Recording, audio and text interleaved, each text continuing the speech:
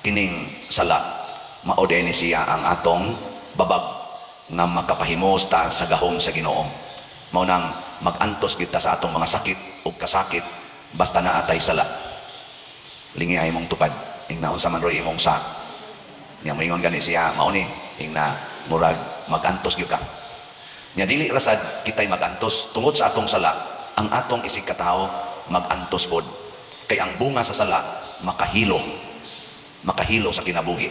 Mo nang maguba ang relasyon magkabungkagay na hangtod manag-away o mauna na nga maparalyze na ta.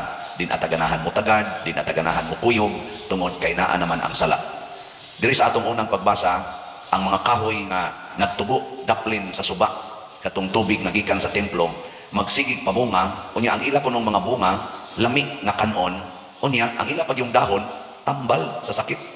Nga naman kay dito man ang ilang gamot nakakonektar sa tubig nga makaayo sa tubig sa kinabuhi. Nga kinsa man nimo fountain of water or living water. Mao ni si Jesus. Mao na nga si Jesus diri sa atong ebanghelyo nakaadto siya atong tubig nga inigkakutaw maayo ang mga masakiton nga makaabot dito. Iyang gipakita na di na kakinahanglan mo adto sa tubig. Ako na ang tuburan sa kaayuhan. Pero doon na siya gi-warning sa kaning masakiton pagkita nila usab ingon dayo si Jesus dire ayaw na pagpakasala aron dili ka mahiagom sa labi pang mangilad na hitabo. Unsa may ngilad nga nahitabo sa masakiton before siya nakikita or naka-encounter ni Jesus? 38 katuig siya nga dili makalakaw. Karon na may mga tao nga 50 na gani katuig wa magtinagdanay dumot to the max. Di nakalakaw di nakakalakaw padung sa imong gidungtan. Di ba? Ngay kaduhang lingi sa imong tupad. Na wa karoy gidungtan ana nasay uman dili makapangalawat nga naman ga puyo-puyo man ga kabit-kabit man ga same sex man nganong gituyuan man ginani mo aron lang gyud ka dili makapalawat nya mo simba ba usahay? Na mga dinhi magpabunyag kugos pas bata nindot pa kay dekorasyon ang bata gasto pag dako kay tanan pero ini pangutana na to unsa man mo. Kana magpa-special na ko dinhi usahay. Bunyag nindot kay mga naong ay ana mga batanon kayo ini pangutana na ko kinasal mo ah wala pa ah kalma hala mo sulti na ko ya kaninyong bata. Inyo ning pabunyagan nya kamong nagkugo sa bata o nagatiman sa bata. Way mga kasal. Unsa may motakod ngadto sa inyong anak? Ang living water o ang poisonous water? Ang poisonous. Kay ang sala kusog kay na manakod. Kusog kayo ng muhatag o ngilad nga hitabo. Kini bitawrong gubat sa kalibutan. Sala man ni bunga man ni sa sala. Kini rong atong mga linog kining atong mga kamatay kini mga sakit. Bunga man ni sa sala gud nga naingon sila na usab na kunong atong ozone layer kay nadug na nadug nadugta na. Nahilis na mo na nanay global warming mo na ang ato mga uwan porti ng kusuga. Ang ato mga bagyo di na normal porti ng kusuga. Hasta mga sakyanan ilakpot na ngadto sa ibabaw sa mga building. Man na? Nawa man sa una tungod na sa atong sala. Grabe kayo ron ang sala. Nga hasta ang niya sa simbahan di na kahibaw nga sala na di ini mo na ingos Kristo ayaw na pagpakasala ngano man maputol ang atong koneksyon sa Ginoo. Ang sala muputol sa atong koneksyon. Ang sala ni Adan og ni Eva didto sa paraiso misirado sa paraiso ug nawagtang sila sa maong kalipay nga ilang gipahimuslan. Mo nang nanaog si Kristo ato dirong gihandom ang iyang pagluwas nato nanaog siya to reconnect. Iyang sumpayon pagbalik. Apan di siya mamugos. Ang kahoy dili pugson sa suba nga tagaan ti tubig. Ang kahoy gyud mao mo hatag sa iyang gamot. O musuyok sa tubig. Kita gyud mo musuyok sa tubig. Kita gyud mangayo sa grasyas Ginoo nga mao ang sakramento. Sakramentos kumpisal ug wa kay kasal sakramentos kasal ug wa kay bunyag sakramentos bunyag. Kining Eucharistia. Ana ba? Nilingi ato ng imong tupad. Ina ang imo bang bunga makahilo o makaayo? Ana? Ina unsa man makahilo o makaayo Unsaon man sa ginikanan pag-ingon sa ilang anak ayaw mo pangabit o ayaw mo pag premarital sex kung siya mismo o sila mismo nagsigig buhat anang pagpangabit. Di ba? Parehal sa nas amahan, dili katudlo siyang anak nga ayaw pagbisyo kung siya bisyoso kayo. Kaya iyang mga pulong, ingon niya ayaw pagbisyo, makahilo na na. Ngano makahilo man, mo ingon mo to yung anak, ikaw gani. Sulti-sulti na mo sa kunsa na. Ano? Unsaon man pag-ingon sa mga ginikanan na ayaw mo pamalikas, ayaw mo panglibak, kung ang anak nagsigig katanaw, siging pamalikas, siging panglibak ang iyang ginikanan, ang imong pagbadlong sa imong anak, ang imong pagtudlo niya kunuhay sa Diyos noon ng mga pulong, mahimong makahilo. Musumbalik man. Isod kayo. Pare sa spari, muingon ko ninyo, ayaw mo pangwarta. Palit mong slot. Kunya, ako rang gipalit og sakyanan nga nindot, ako rang gigastos akong mga kabit ang kwarta. Nya ang simbahan kaga lang naong, wa ginahimong project. Muingon gyud mo, makahilo na lang akong sulti. Nindot ba yaon tanan, pamalit mong slot, magtinabangay ta, ihatag inyong kwarta dinhi. Pero kamo nga naka-observe sa akong binuhatan, nga yawanon kayo, muingon gyud mo, ayaw na. Ayaw na ning warta kay nang parian. Pero makakita sa mo magigamit gid nato, daghan ang mga nahitabo nga mga nindot sa tong parokya, maingon gyud mo, sige, suporta ka, klaro kay na. Hiling nga imong tupad ina, ganahan kang mo palit og slot. Naganahan pa ka? oh, abot lang tanawa lang ninyo sa nangakong buhat kung sa man nakaayo o nakahilo sa katawhan. O nakaayo, oh, di suyop sa tang. Kana pa'y nindot, Karong gani mga tao, siging suyop anang drugas. O tanawa, kung sa ilang gisuyop, makaayo o makahilo. Kahilo eh. Ang mga talong ra ba kayo na mo tabi? Ang mga anhing magay na nato usahay. Yung padero, wala yung bugas padero. Isukin na ko. Ako din tutukan ang mata na ko. Pila man ginasuyop ni mo. Madugay hinoon, baka na magtanaw, tatanay taong may kayo mo tabi. May kayo mo tabi ba? o niya nahibaw, tas iyang binuhatan, makahilo na ang iyang pulong. Mangingil na pagkaaron ingnon.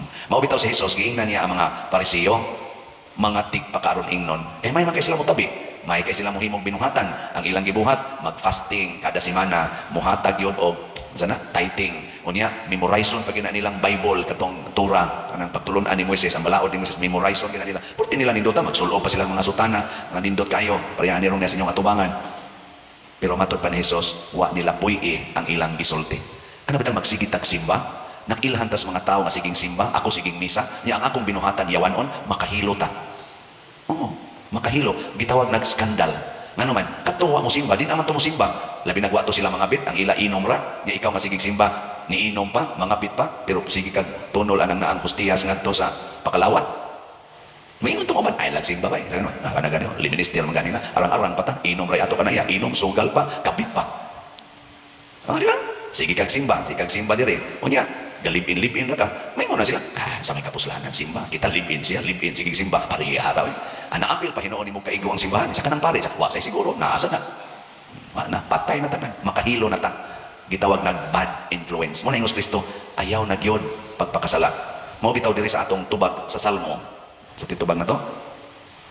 Ang makagagahom nga Dios ani uban kanato, ang Dios ni Jacob mao ang atong dalampanan. Sigurohon gini nato nga kita aware nga ang Dios uban kanato. Why makaikyas nato sa matas Ginoo?